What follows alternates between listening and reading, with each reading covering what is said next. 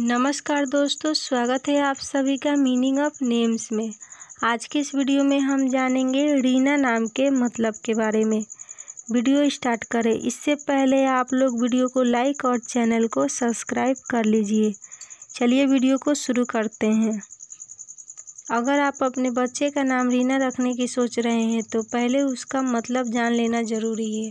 आपको बता दें कि रीना का मतलब प्यारा रत्न, खुशी, गीत, पिघला, घुलित पुनः जन्म स्पष्ट, तेज होता है। आज के वीडियो में इतना ही। मिलते हैं। तब तक के लिए धन्यवाद।